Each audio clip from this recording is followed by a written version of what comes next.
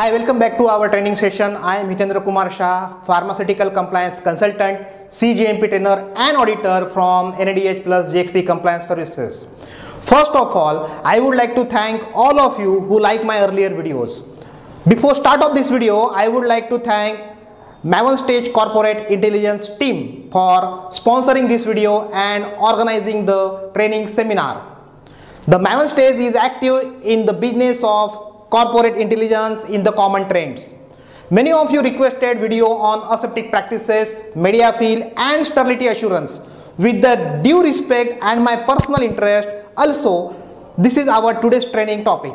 I would like to request you to go through the video up to the end so as to understand the concept in better way. First of all, we need to understand the basic difference between sterilization and disinfection. Sterilization is the process which is used for complete removal or destruction of all living organisms including bacterial spores.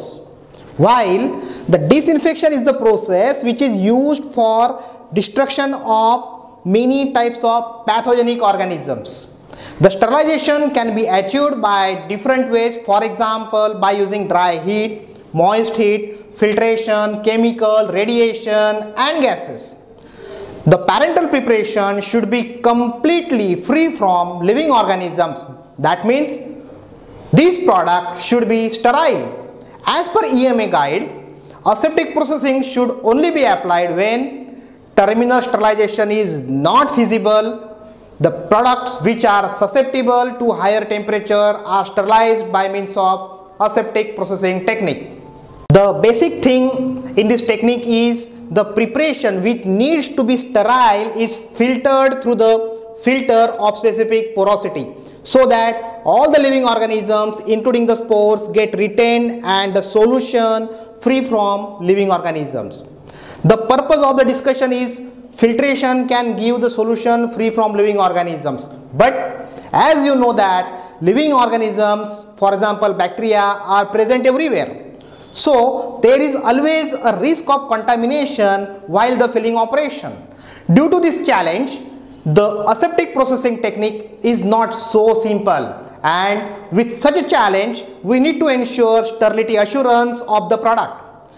Aseptic processing requires careful consideration of all control measures during the design of the product and processes.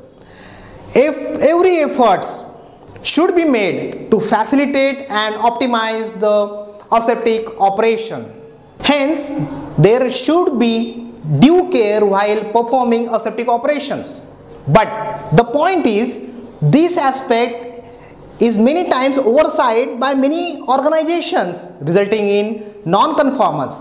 As a case study, we referred many inspection observations by FDA Surprisingly, we found that many firms received the inspectional observations as the inspector raised the concern about the procedure designed to prevent microbiological contamination of drug products purporting to be sterile are not established or followed. Further added that handling of interventions during routine production activity were found inadequate. In another case, Inspector found that aseptic processing areas are deficient regarding systems for maintaining any equipment used to control the aseptic condition.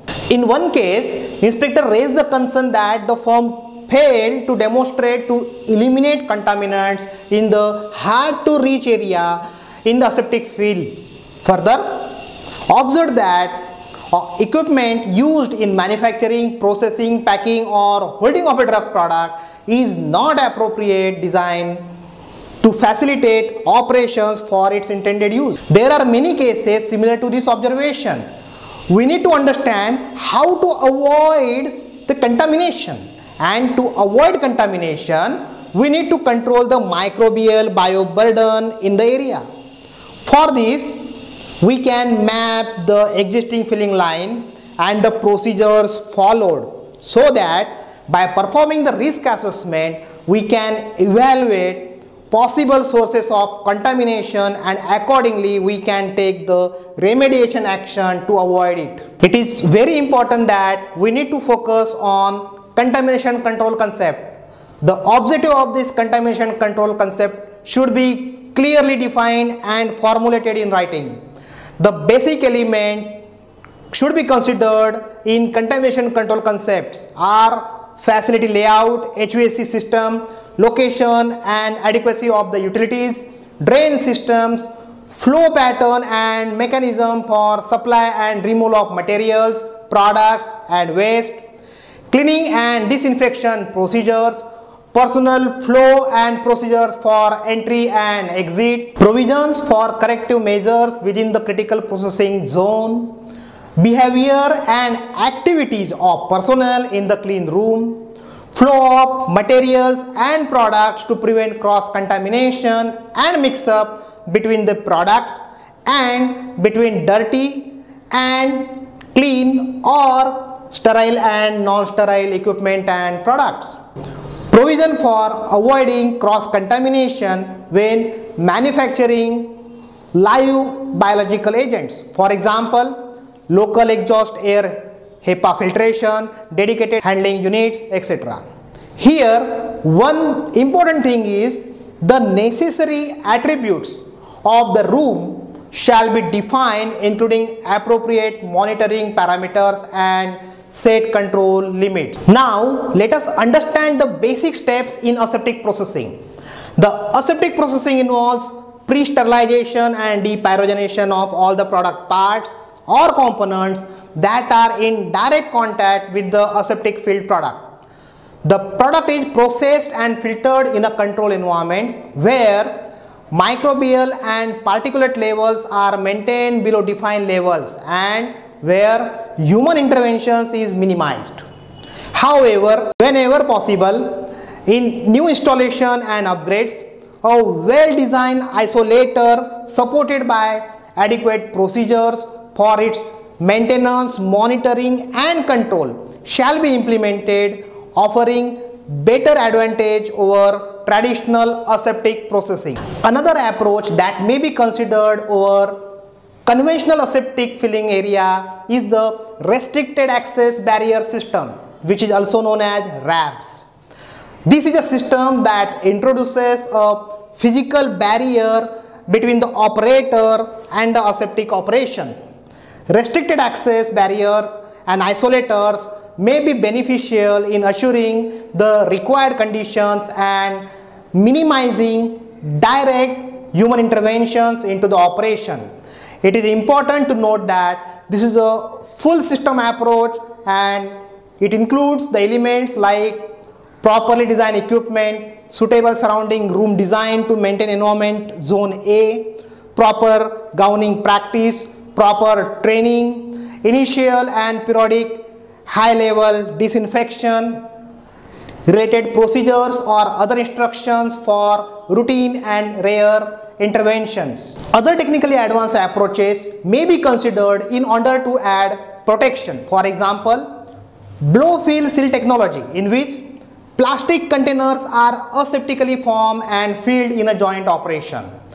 The another advanced approach is closed vial technology in which sealed plastic containers are filled by inserting the product through a stopper and then resealing by the laser. The communication system also plays an important role in the aseptic area. Wherever practicable, communication systems shall be provided in order to minimize movement of personnel into and out of the cleaning room. Such a communication devices should be hygienic design, suitable for a clean room and preferably hands-free. Wherever possible, the design of the area should allow good visibility of all operations from outside in order to minimize unnecessary entrance in the area. Irrespective of the approaches applied on the design of the process, the full process must be validated by aseptic process simulations. This aseptic process simulations is also known as media fill. The media fill study is performed to demonstrate the required sterility assurance of the final product. An aseptic processing operation should be validated using a microbial growth medium in place of the product. This aseptic process simulation normally includes exposing the microbiological growth medium to product contact surfaces of equipment, container closure system, critical environments and process manipulations to closely monitor the same exposure that the product itself will undergo. The next important aspect in aseptic operation is time. The total time for the product filtration, filling operation, holding time after filtration prior to filling should be limited to a defined maximum and shall be derived from validation studies. Bioburden and endotoxin load should be assessed when establishing time limits. The time between product intermediate sterilization, component washing, sterilization, filling and sealing should be minimized. The time limit shall be set in the operating procedure. Final stage capping of the aseptically filled vials is also very very important. Once a product has been aseptically filled into a container, the container must be sealed to prevent recontamination and thus maintain the sterile state. To avoid contamination between filling and sealing, there needs to be adequate protection.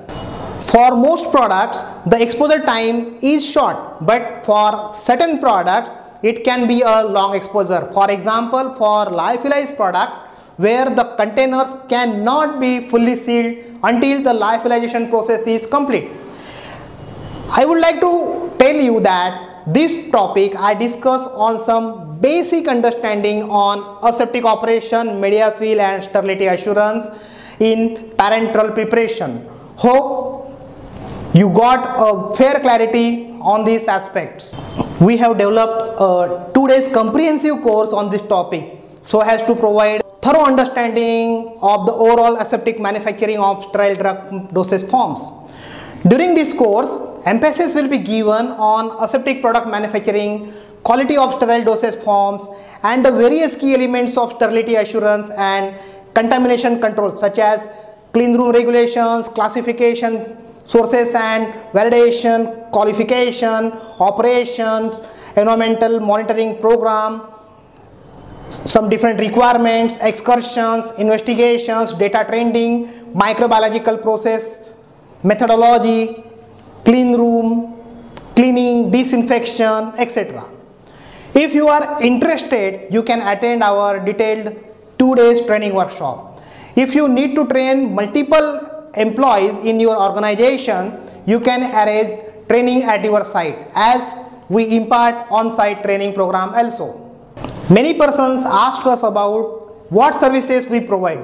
I would like to inform you all that we provide audit and compliance services which includes vendor or supplier audits, gap audits, training, provide support in preparing for regulatory audits, preparation and review of compliance report, help organizations for implementation of quality management system and specific current guideline requirements. You can contact us through the numbers or email displayed on the screen for nominations, inquiries to our training sessions or inquiries about our other services or in case of further clarification on the training topic.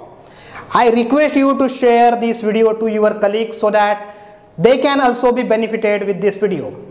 If you are interested in the next video, you can subscribe or get connected through YouTube, LinkedIn, Facebook or other social media. If you are interested in any other topic, please feel free to contact us. Thank you so much for your kind attention and ensure all time compliance. Thank you.